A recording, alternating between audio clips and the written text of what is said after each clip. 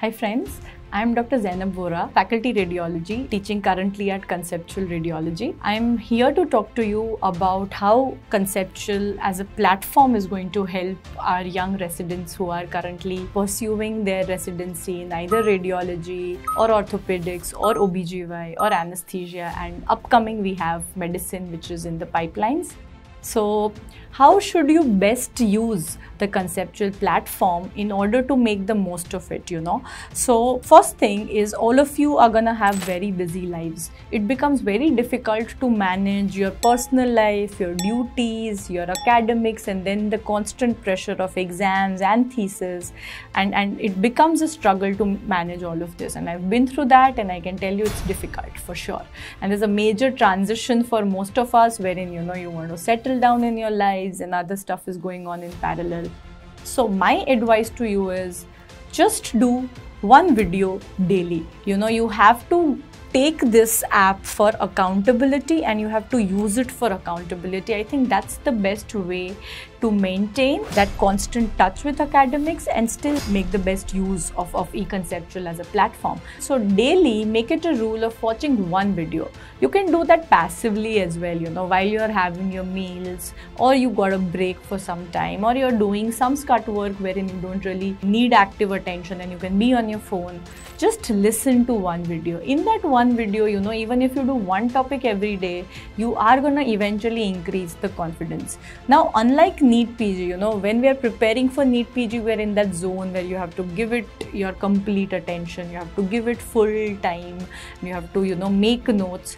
Now it's not like that. Now this profession is there for your life, right? Your learning is going to continue throughout. So that's the approach you guys have to have. It's not like you'll go home, you'll open a book and you'll study. It will never happen like that. Let me just tell you the learning happens on the job and to maintain academic continuum with that to maintain you know going back to studies with that i think this is the best way to do it. To have it on your phone do it passively with a video one video daily at least. If you if you can do more if your exam going obviously you'll have to complete more stuff.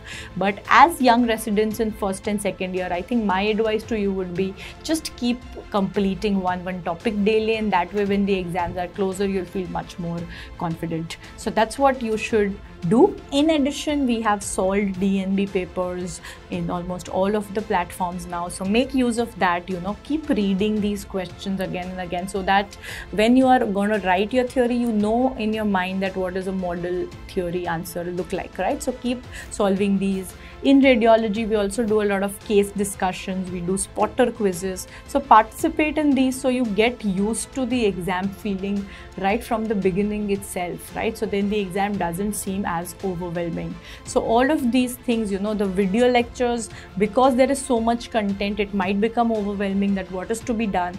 So either just appear for it live when it's going on or the other strategy I just told you is watch one topic daily and that way create a schedule for yourself. You'll be done with so many topics before you know it. So that's how you make use of the videos.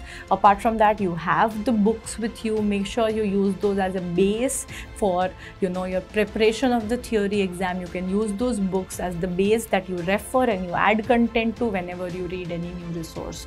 So the learning is going to continue throughout and take it like that. It's not gonna be like NEET PG days or MBBS days where you come back to your hostel or your room or your house, you're opening your book, you're studying, you're underlining. It's not gonna happen like that. You're studying on the job, you're learning on the job. Even if you feel you're doing the most useless of the things, remember you're learning something valuable and that's the approach you gotta have. Stay back in your department.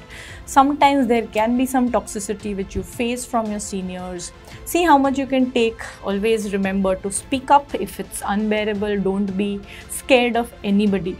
You are to do this for the rest of your life. So you want to become a very very good practicing radiologist or orthopedician or whatever it is that you've chosen. And we're right here by your side helping you do that. So if there is any other thing that you have as suggestions or feedback for us at eConceptual please feel free to comment down in the comment section and we'll get back to you.